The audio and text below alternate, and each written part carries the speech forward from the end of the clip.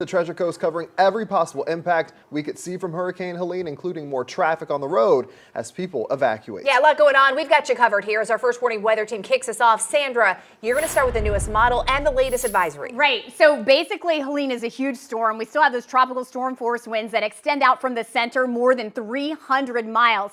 It's making good progress. Here's the latest that just came in with the latest advisory. Has picked up speed, moving north northeast at 12 miles an hour. Winds are at at 90 miles an hour, so it is a strong category one hurricane right now. Quickly becomes a two, and then as we hit this afternoon, 115 mile an hour winds by two o'clock.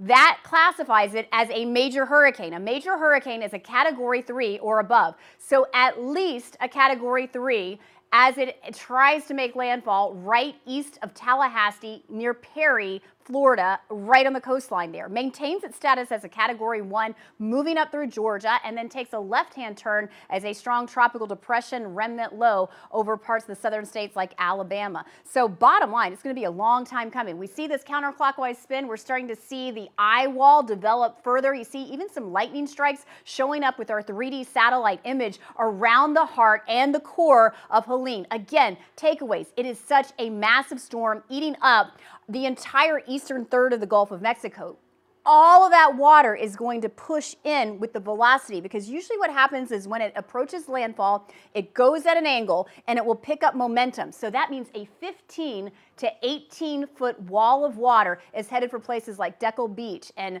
Fish Creek and Perry just east of Tallahassee. If we move it further south, you're going to see a storm surge issue as well, even further south 12 to 15 feet. So the Palm Beaches and the Treasure Coast, all of us are going to see these tropical storm force wind gusts throughout today. We've already seen a tornado warning. So that's going to be a real issue, especially for our inland counties like Okeechobee. We're in a slight risk for Okeechobee of seeing, especially on this northwest corner, those tornadic cells rain wrapped as well. In Indian River County, we're going to see, you know, two to four inches of rainfall. The thing about the rains, when you talk about a tor when you talk about a hurricane, I mean, they're usually just blasts of just heavy rains, just deluge type downpours that happen so quickly. St. Lucie County, same deal. You see very gusty winds, tropical storm force winds, 20 to 40 miles an hour with those higher gusts, even 45 to 50. We saw a 41 mile an hour gust yesterday in Boca. Martin County, you're going to see gusty, blustery conditions as well. And Vanessa, you know, already this morning we've been watching these feeder bands. We have an active tornado warning just east of Cape Coral on southwest Florida right now, but it's been pretty active and I think it'll pick up this afternoon. Definitely. So after 10 o'clock in the morning, we'll see some rain bands um, basically pushing across Okeechobee County, even out towards the Treasure Coast and the Palm Beaches as we head into the afternoon hours. I do want to show you the satellite imagery with some radar.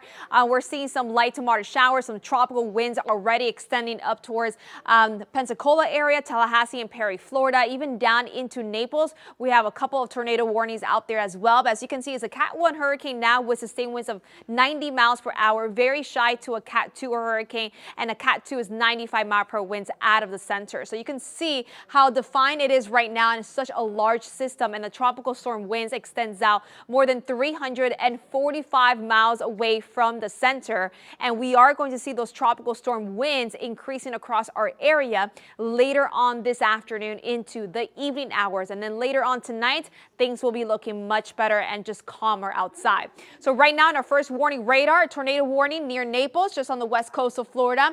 We have a couple of those rain bands producing some tornadic activity, and we have some light showers now approaching South Bay. Nothing too strong or severe, but we'll keep the uh, we'll keep an eye on the radar for you for the next couple of hours. And meanwhile, very blustery. We have sustained winds close to 30 miles per hour in West Palm, even down into Boca. Very blustery near a coastal area, so today would not be a good day to head out to the beach, but it is going to be really gusty out there. We're talking about wind gusts right now close to 31 miles per hour. 23 in Fort Pierce, Port St. Lucie area, and working his way down in West Palm. 31 mile per hour wind gusts there. Let's take a look at your hour by hour forecast. It shows rain pretty much all day long today, but I do expect some on and off showers, some sunshine, some clouds in between. Not a complete washout day, and those rain bands may be included with those tornadoes embedded with those, so just be aware of that. We may see a few more tornado warnings, and temperatures today will be in the 80s, same thing on